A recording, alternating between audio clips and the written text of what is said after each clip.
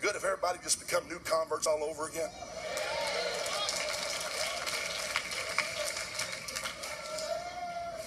Mm.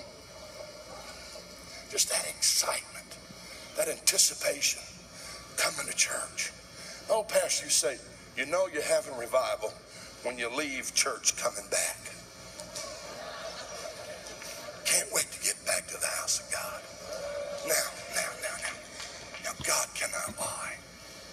Here's the deal.